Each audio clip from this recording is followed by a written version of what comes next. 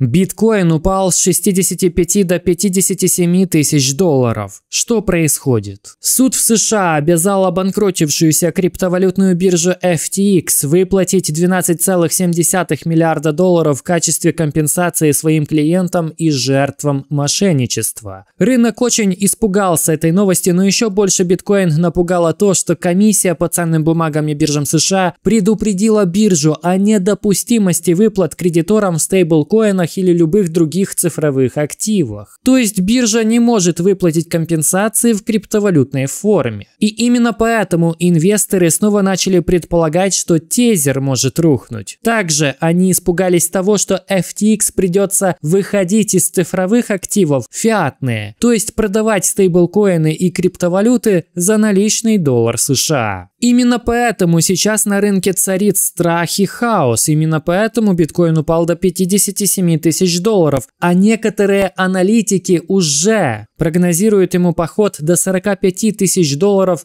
в ближайшее время. На этом фоне индекс страха и жадности на рынке упал до 26 пунктов, а потоки капитала, которые текут в биткоин, значительно меньше, чем те, которые текут в стейблкоины. Это означает, что инвесторы переходят в стейблкоины, то есть продают в целях безопасности или в целях накопить стейблкоины для будущих покупок на просадках. Давайте обсудим, что происходит сразу же после того, как вы передадите за проезд. Проезд у нас стоит 1 лайккоин. Передали? Большое спасибо за поддержку.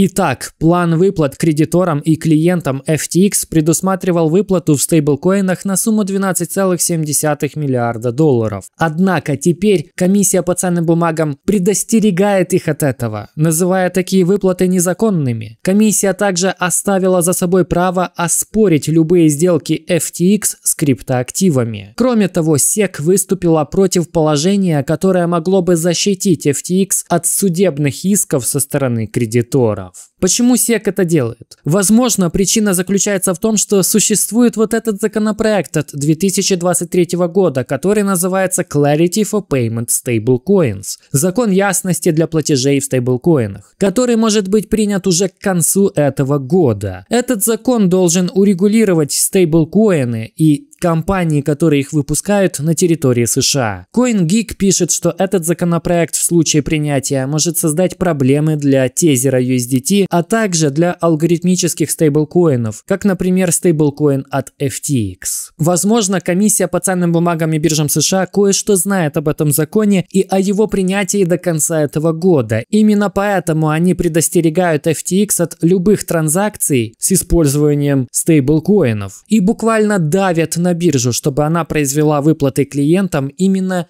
фиате, то есть в долларе США. Это может вынудить FTX продать свои криптовалютные активы. Мы видим, что основными цифровыми активами, которыми они владели, были Solana, Bitcoin и Ethereum. Это немного устаревшая информация, и сейчас они, возможно, продали многие из этих криптовалют, но потенциально они могут держать большую пачку USDT. Мы видим, что на момент подготовки этого отчета у них было 120 миллионов долларов. Однако, если продать все эти криптовалюты, то получится, что они держат 3,4 миллиарда долларов. Если FTX придется конвертировать эти 3,4 миллиарда тезеров в фиат, то самому тезеру придется ликвидировать позиции на 3,4 миллиарда долларов. И вот в чем держит деньги тезер. На данный момент у них 118 миллиардов долларов обеспечения. Мы видим, что 110 миллионов долларов из них, например, они держат в кэше или на банковских депозитах. Также в обеспечении мы видим корпоративные облигации, защищенные долги и даже драгоценные металлы. Если их вынудят ликвидировать 3-4 миллиарда долларов из резервов путем продажи некоторых своих позиций, это может привести к тому, что на краткосрочной дистанции тезер не будет полностью обеспечен обеспечен долларом один к одному. То есть мы можем увидеть отвязку курса тезера, который сразу же обзовут коллапсом тезера и сделают все для того, чтобы на этом событии как можно сильнее обвалить биткоин. Это может стать черным лебедем, особенно если этот законопроект будет принят до конца этого года. И это событие может забавным образом совпасть с этим паттерном. На графике. 5 июля мы видели падение биткоина из-за черного лебедя. 5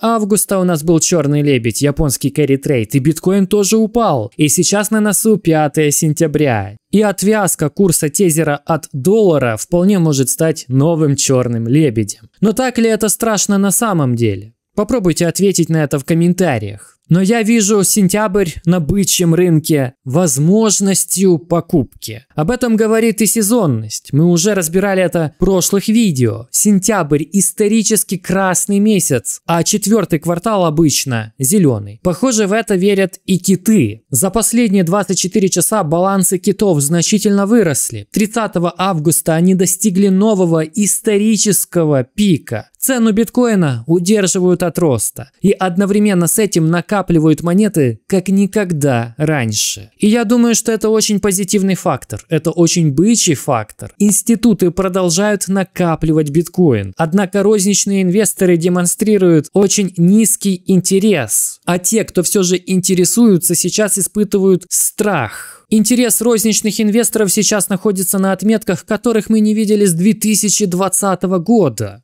При этом индекс страха и жадности криптовалют находится на самых низких значениях за весь этот год. Институты же, напротив, продолжают покупать. Все больше и больше биткоинов, включая тот же BlackRock. Они знают, что предложение биткоина ограничено, поэтому они могут продолжать накапливать и покупать все больше монет, пока на рынках царит страх. Для них это лучшая возможность, и они будут делать все для того, чтобы мы боялись как можно дольше. Именно поэтому это все может быть ловушкой, когда люди продадут сейчас на страхе из-за ликвидации криптоактивов на 12,7 миллиарда долларов, а затем мы увидим эту картину, зеленый график, как в 2020 году. Обрати внимание, как совпадает движение цены биткоина сегодня, вот эти вот свечи, и тогда, в 2020 году, это вот этот зеленый график. Мы движемся идентично, и сейчас мы находимся где-то вот здесь. На это намекает и индекс относительной силы. Цена биткоина колеблется в каких-то диапазонах как раз тогда, когда RSI, индекс относительной силы, находится около среднего недельного уровня. Вот здесь, вот здесь и вот здесь. Такую ситуацию мы видели с марта по октябрь 2023 и с апреля по октябрь 2020.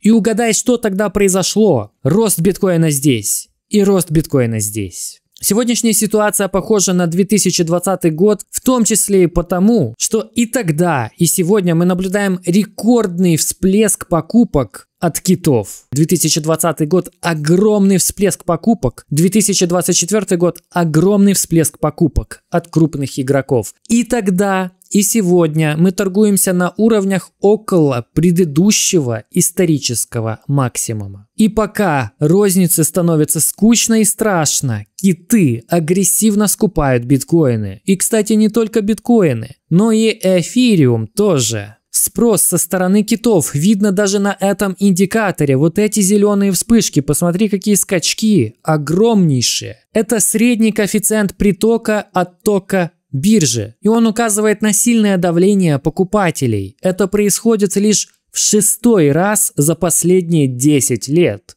Но розничные инвесторы, конечно, никак на это не отреагируют. Они войдут в биткоин тогда, когда цена превысит 70 тысяч долларов. Я бы даже сказал 74 тысячи долларов. Но когда же это наконец произойдет? Возможно, это сможет произойти тогда, когда золото наконец сделает перерыв. Обрати внимание, биткоин это график сверху. Все еще топчется у предыдущего исторического пика. При этом золото, это график внизу, уже давно его преодолело. И сразу же после того, как оно это сделало, оно резко рвануло вверх. Также обрати внимание на выборные годы в США и как они влияли на циклы биткоина с 2016 по 2024. Наш цикл здесь обозначен белым графиком. Кроме этого, 18 сентября этого года у нас может быть первое снижение ставки ФРС США. И то, как оно повлияет на рынок, зависит от того, наступит ли рецессия. Мы уже говорили об этом. Если это будет рецессионное снижение ставки, то, как мы уже разбирали, эффект от снижения ставки наступит спустя полгода или даже год. Но посмотри на эти два графика вот здесь. Лишь они уже говорят нам о том, что здесь что-то не то, что рецессия очень вероятна. Красный график показывает личные процентные платежи по долгам, синий график указывает на личные сбережения. И кажется, вы уже начинаете понимать, что это ненормальная ситуация. Вы видите, как сильно они сейчас расходятся, как низко синий график и как высоко красный. Личные платежи по долгам взрываются и достигают исторических пиков, каких мы никогда не видели. Личные сбережения сильно падают и достигают исторических низов, каких мы практически никогда не видели. По крайней мере в последние 50 лет.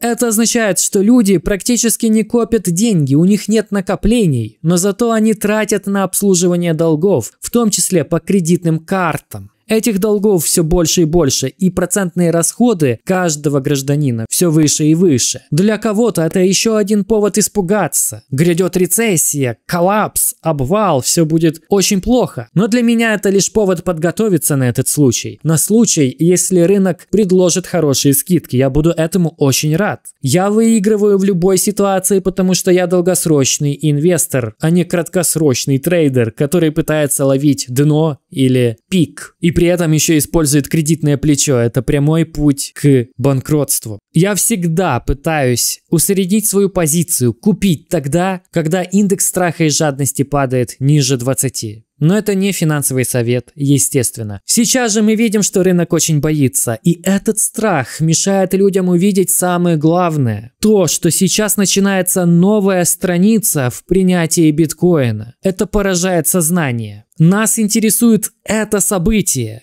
когда целая страна принимает криптовалюту, в том числе и биткоин, для международных транзакций. И это произойдет уже сегодня. До чего мы дожили? Крупные страны будут торговать товарами за биткоины. Не за доллар США, не за юань, за биткоин. Это невероятно. Если это не новая эра для биткоина, то тогда что это? Но это еще не все. Швейцарский центральный банк покупает акции биткоин-компании MicroStrategy. Это говорит нам о том, что, во-первых, они верят в будущее биткоина и микростратегии. Ведь микростратегия сильно зависит от биткоина. И если бы швейцарский центральный банк не верил в биткоин, зачем ему вкладывать в компанию, которая всецело зависит от курса биткоина? И во-вторых, этот шаг швейцарского центрального банка может потенциально сигнализировать нам о том, что институциональное доверие к биткоину как к резервному активу растет. А значит, мы можем дожить до того, что каждый центральный банк в мире будет покупать биткоин как золото. А золото они сейчас покупают